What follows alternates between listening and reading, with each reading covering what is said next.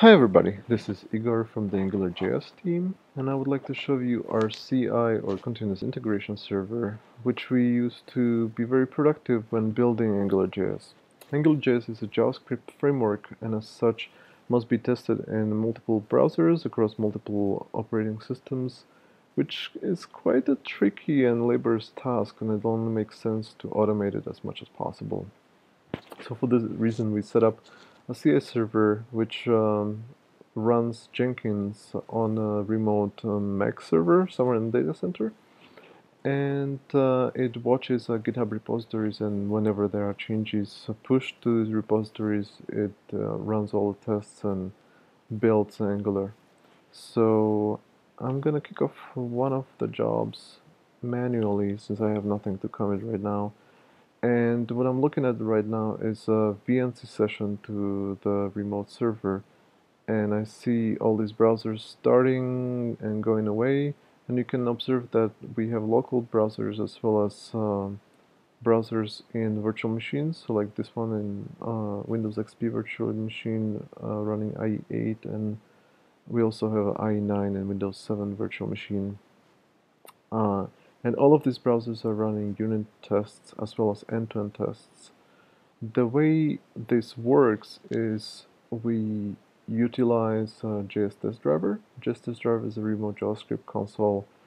Uh, it's a small Java server that uh, can start browsers, capture them, dispatch uh, unit tests to be executed in all of these browsers, and then collects all the results. Um, we set up Jenkins to, to run JS test driver and we can check out what that looks like. So this is the output, the console output, and this is output from the test driver. So each of these dots is a single passing test. So every time uh, test goes green, all dot is printed here. And then at the end, we have a collection of uh, some summary of uh, all results so we can see how long it took uh, to run tests on each of the browsers and how many tests passed or failed. In this case, all the tests are passing.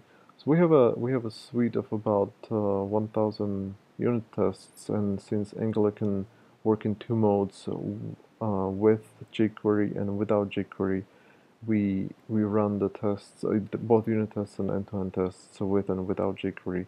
So in addition to unit tests, we also have um, end-to-end -end tests.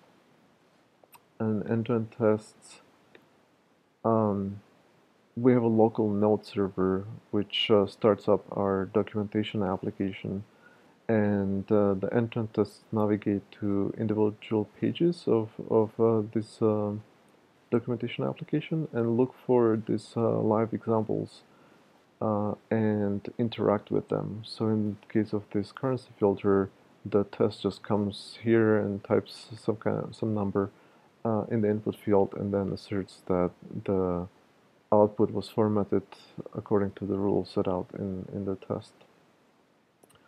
Uh, and this happens for all of the pages. Um,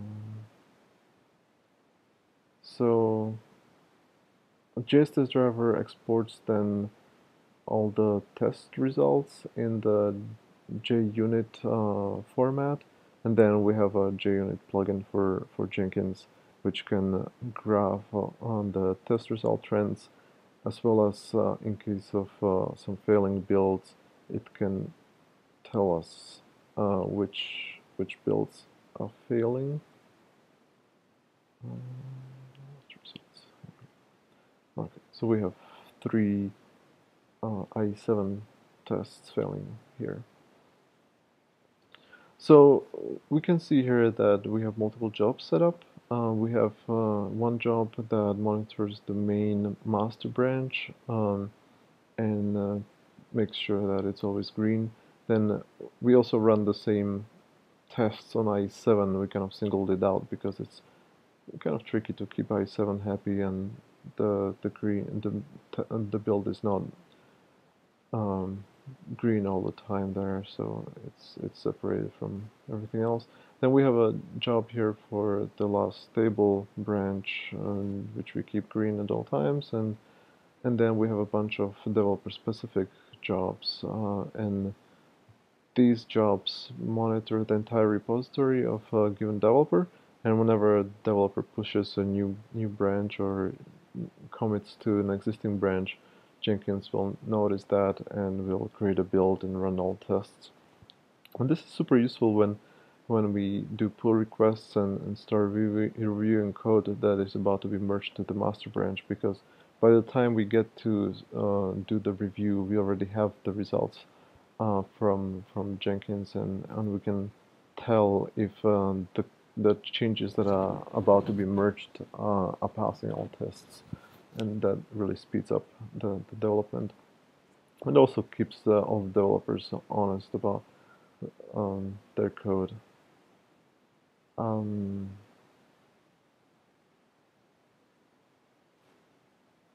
Another nice thing here is that for each of the successful builds, we publish build artifacts.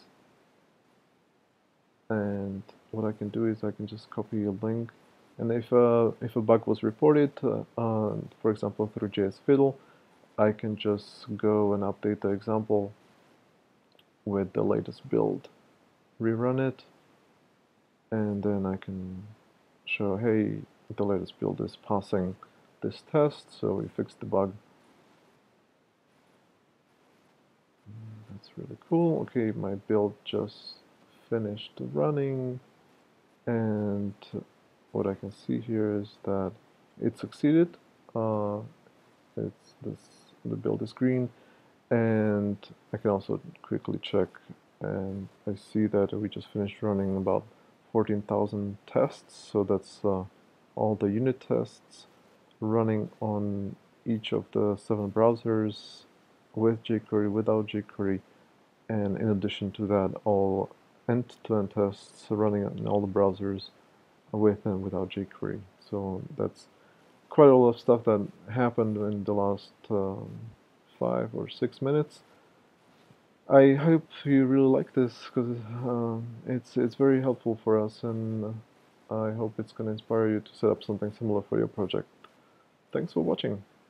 Bye bye.